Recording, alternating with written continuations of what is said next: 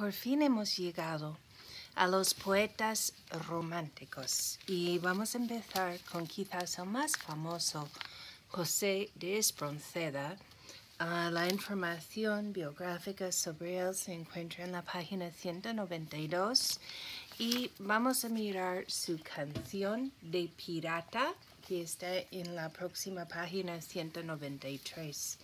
Para empezar, ah, debo decir que Espronceda es un poeta romántico y es importante saber qué significa eso para entender mejor el poema. bueno, el romanticismo es una corriente ah, literaria, ah, artística, que se asocia más que nada con el siglo XIX, pero de hecho empezó en el siglo XVIII con, el, eh, con la Revolución Francesa en el año 1789. Si pensáis un poco en la historia de la Revolución Francesa, recordáis que tenían un lema, un slogan, right? Ah, era fraternidad, igualdad y libertad, es lo que querían para todos. y con la Revolución Francesa, ah, por primera vez, empezamos a ver el nacionalismo en el sentido de que por fin ah, España se ve como un país o Francia se ve como un país entero y no una colección de ciudades importantes, pequeños reinos, etc. Hay también entre los autores románticos una fascinación con lo misterioso, lo inexplicable, ah, la muerte y ah, la enfermedad, es la estética. Ah, hay que pensar, por ejemplo, en el poeta americano o el, cuentista americano Edgar Allan Poe. Es un buen ejemplo del romanticismo americano.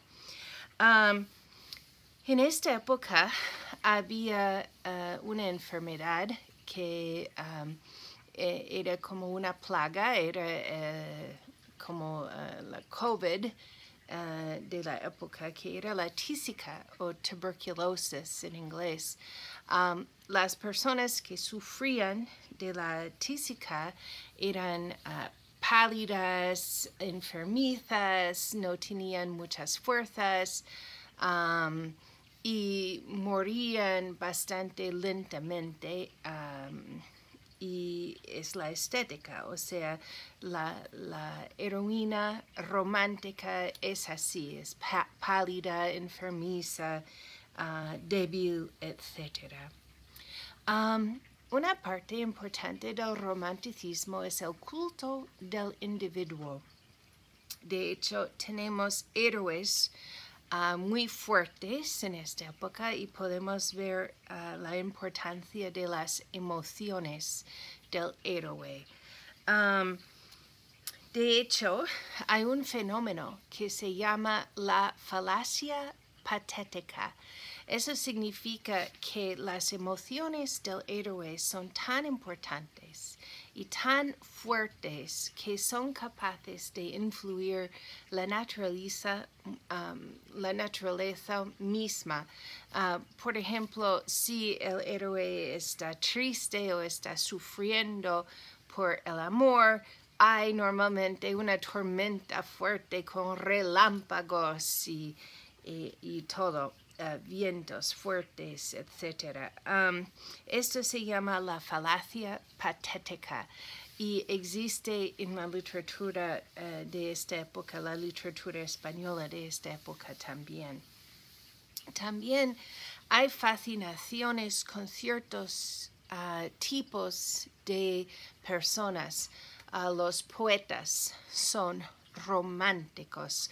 Los artistas son románticos. Los piratas son románticos. ¿Por qué? Porque son pobres, um, pero son individuos fuertes um, y valoran mucho la libertad individual, que es, um, o sea, que se encuentra en el centro del romanticismo. De hecho, en esta época publicaron um, varios libros con piratas como Peter Pan o Treasure Island en inglés. Um, también podéis pensar en Pirates of the Caribbean, um, que sería un buen ejemplo uh, del romanticismo que asociamos con los piratas.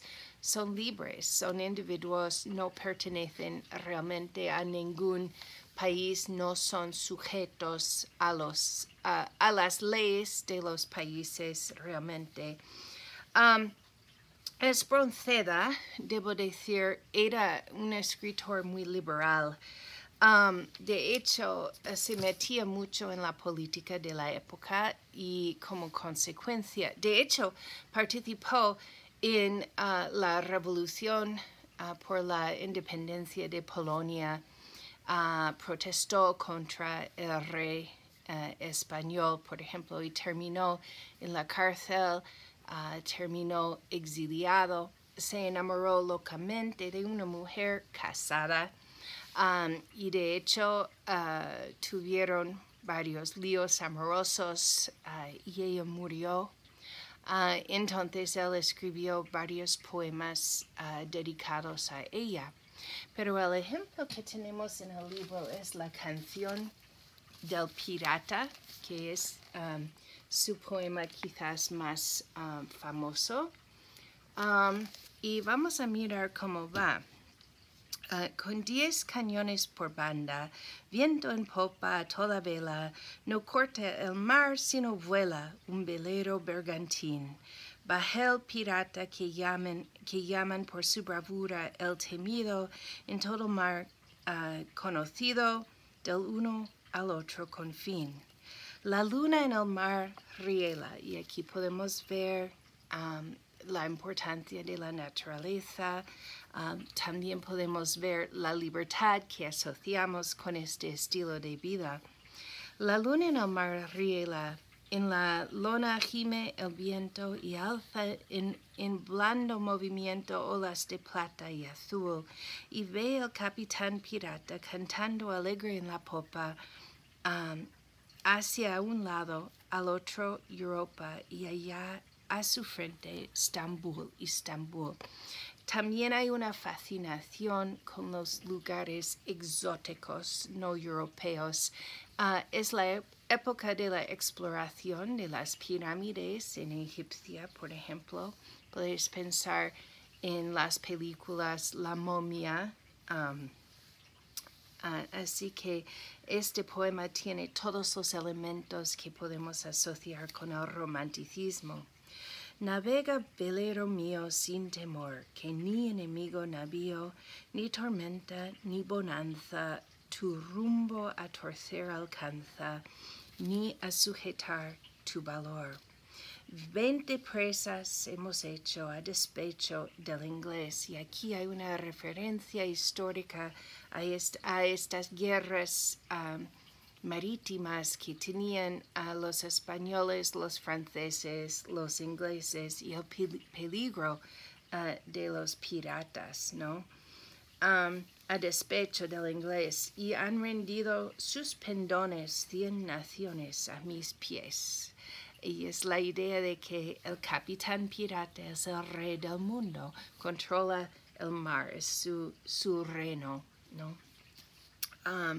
Que es mi barco, mi tesoro, que es mi Dios la libertad, mi ley la fuerza y el viento, mi única patria, la mar. Uh, esto sería un manifiesto casi uh, romántico, ¿no? La, la vida perfecta de un héroe romántico.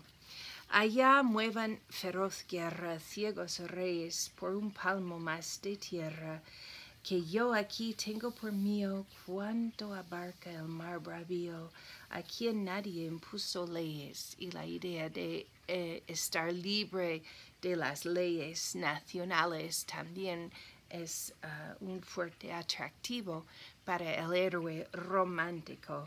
Y no hay playa, sea cualquiera, ni bandera de esplendor que no sienta mi derecho y de pecho a mi valor. El valor también uh, es un, um, uh, un valor asociado con, con los románticos. A la voz de barco viene este ver como vira y se previene a todo trapo a escapar, que yo soy el rey del mar y mi furia es de temer. en las presas yo divido lo cogido por igual, solo quiero por riqueza la belleza, belleza sin rival.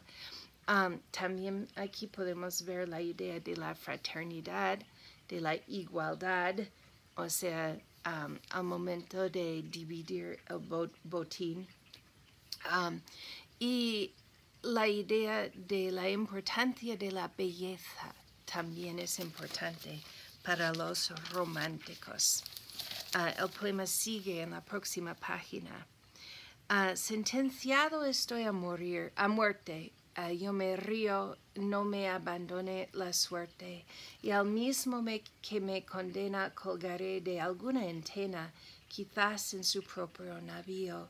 Y si caigo, que es la vida, por perdida yo la di, cuando el yugo del esclavo como un bravo sacudí, que es mi barco, mi tesoro. O sea, hay un refrán que sigue a lo largo del poema.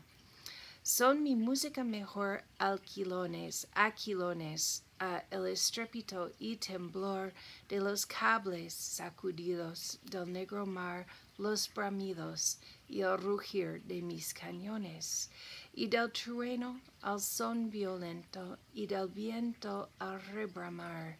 Yo me duermo sosegado, arrollado por el mar, que es mi barco, mi tesoro, que es mi Dios la libertad, mi ley la fuerza y el viento, mi única patria, la mar. Y otra vez podemos ver en, esta, en este segmento más que nada um, la importancia de la naturaleza, pero también la falacia patética, donde la naturaleza misma refleja las emociones del héroe. Muy bien. Ok.